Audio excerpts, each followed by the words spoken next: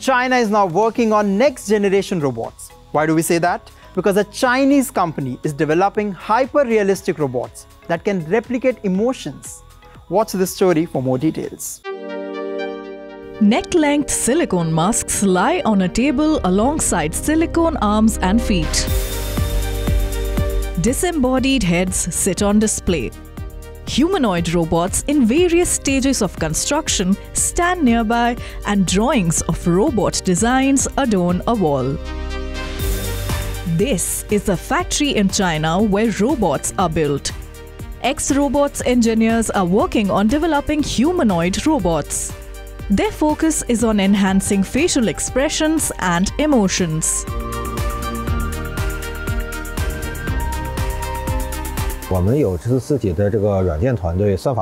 We have our own software and algorithm teams. In terms of algorithms, we focus more on the part of AI that integrates with the robot. There are many basic models and algorithms that are commonly open source, which everyone uses. However, we concentrate more on how to enable the AI to recognize and express expressions and emotions. Look at this.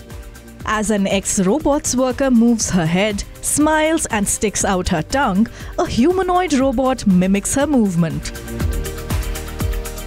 This is possible because of the tiny motors installed in several spaces in its head. The model we're making is multimodal and capable of emotional expression. It can perceive the surrounding environment and produce appropriate facial feedback, and the expressions can be generated automatically. According to the company that is building these robots, it takes from two weeks to a month to produce a humanoid robot. Prices for these robots start at $200,000. So far, the main purpose of these hyper-realistic robots has been for display in museums. The company believes in the future, these humanoid robots will have a bigger role to play, not just in healthcare and education, but in other industries as well. Psychological counseling and health are certainly future application scenarios. We are currently conducting related research such as auxiliary treatment and preliminary screening for emotional and psychological disorders. Humanoid robots are believed to be the future of human-machine collaboration.